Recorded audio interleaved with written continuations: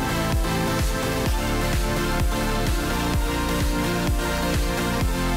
back.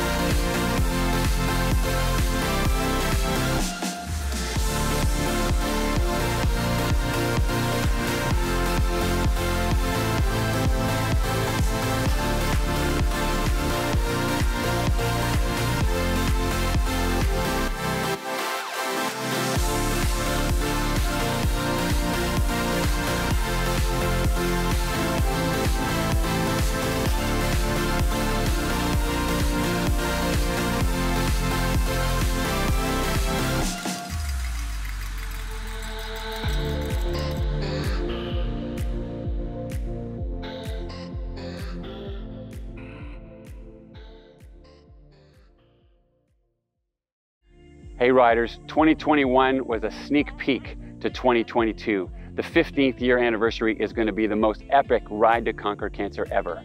Don't miss it. See you there.